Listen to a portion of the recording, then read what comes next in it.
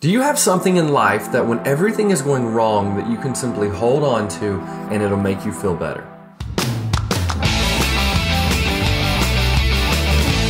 What's up guys, Jeff here from That Bold Life, your weekly encouragement to help you live a bold life for Jesus. So my daughter is two years old and her favorite game in the entire world is hide and seek. Now, she plays hide and seek very interestingly because I don't think she completely understands all the rules. So she'll run off and hide and then she'll yell for me to come close a door behind her or do something like that. Or when she's supposed to be doing the seeking part, I tell her to sit somewhere and count and she actually walks out of the room looking for me while counting. But my favorite thing that she does is is while she's hiding is once I find her, she then wants me to come into her hiding place with her, and she just wants to snuggle up to me real, real close, and she says, Mommy coming, Mommy coming. Even though there's a very good chance Mommy has no idea we're even playing this game. But she thinks that someone else is coming after her, so she wants Daddy to climb down there with her. And we just snuggle until she gets tired of waiting, and I just sit there and enjoy the snuggles. But I noticed something very similar the other day uh, when a stranger comes up to her, someone she doesn't know as well is she'll run up and she'll just cling to my leg or she'll cling to her mom's leg and and and that she just gets real real close and I, I started to think about it like yes one part is a game and she knows no one is actually after hurting her but the other part's real life and she's concerned about the other person that came and either way in either situation whether in game in play or in real life with real danger she clings to the one that she knows is going to protect her she clings to the ones that she knows is always there, that will always protect her, that's always looking out for her, that's always protected her in the past, so she knows who she can go to. The reason I even started thinking about this is because I read in the Gospels this week in Mark chapter 4 says this As evening came, Jesus said to his disciples, Let's cross to the other side of the lake. So they took Jesus in the boat and started out, leaving the crowds behind, although other boats followed. But soon a fierce storm came up High waves were breaking into the boat and it began to fill with water. Jesus was sleeping at the back of the boat with his head on a cushion. The disciples woke him up, shouting, Teacher, don't you care that we're going to drown? Now, the first thing I see here is that these disciples are trained fishermen. They've pretty much been fishing their entire life and they've been fishing in the Sea of Galilee, which is the sea that they're crossing at this moment. They have been fishermen their entire lives. They've They've weathered storms their entire lives. They are trained. This is what they do. Jesus, if he is not God, he is he is simply a, a good spoken carpenter, right? Not to be blasphemous, but if Jesus is not God, that's what he is. He's a carpenter.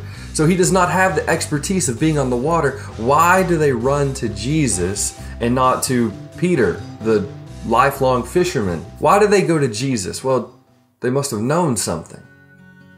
They must have known something was different about this guy, about this rabbi, about this teacher, that very clearly they knew that they could go to him and that he would protect them, that he would watch out for them, that he would cover them. And, and how do they know this? They didn't grow up in Sunday school and hearing all the fancy Christian stories and having Easter and Christmas parties. No, they knew this because they had seen it with their own eyes.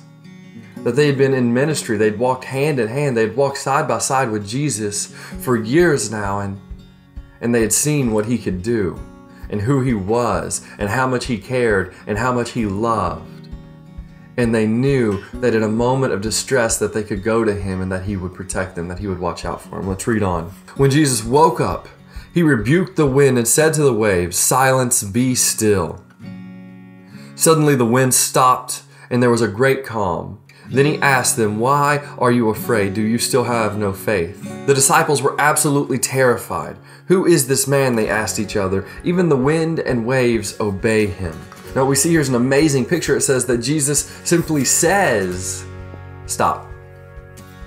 I mean, it doesn't even say that he stood up to rebuke the waves. He just said, Hey, stop. And then gradually, over a long period of time, the, the wind and the waves, they died down as no, it says suddenly. They stopped.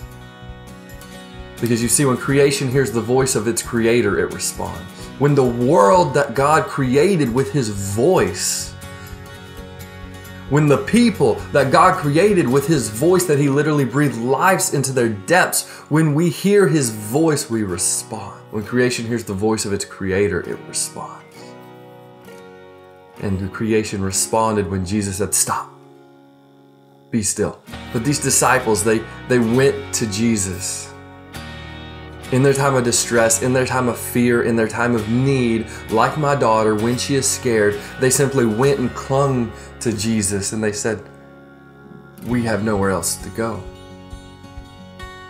You are the one who has protected us, that has watched out for us, that has been there. We've seen you heal blind eyes. We've seen you turn water to wine. We've seen you perform miracle after miracle. But more than that, we've seen that you care. Jesus, don't you care that we're going to drown? Course He does. And He says the same thing to you and me. You see, because it's not who Jesus was, it's who Jesus is. Jesus was not a great teacher that used to exist and used to heal people and used to be there and used to care and used to love. You know, it's Jesus is an amazing God. And He does love and He does care and He is always there. That's who He is.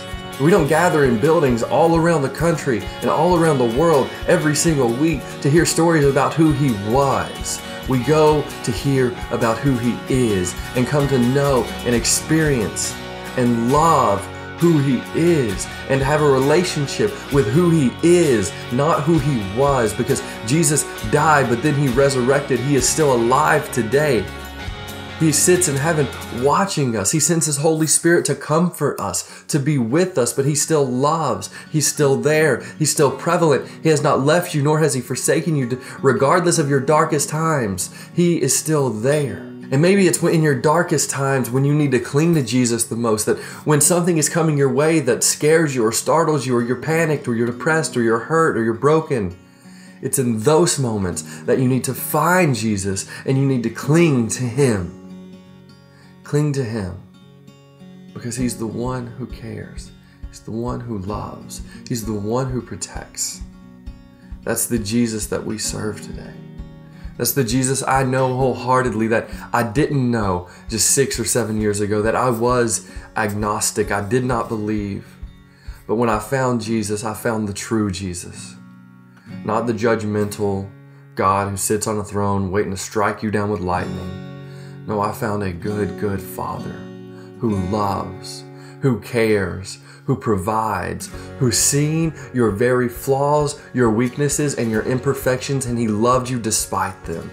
That He loved you so much that He knew everything you would ever do, and yet He went to the cross and He died on your behalf for no other reason than the love He has for you. That's the Jesus that I know. And I pray wholeheartedly that if that's not the Jesus you know, that you would meet him. That you would come to know him. That you would read his word and you would experience who he truly is, not what you've heard about him, not what you've seen in other Christians, but who he truly is. That's my prayer for you today. Alright guys, I hope you enjoyed this video. If you did, do me a favor, hit that subscribe button, then go and hit that bell notification so you'll be notified every time I release a video. Guys, it would mean the world to me if you'd also leave a comment down below. Just let me know that you watched it, that it helped you in some form, in some way. Alright guys, love you. Alright, keep living that bold life.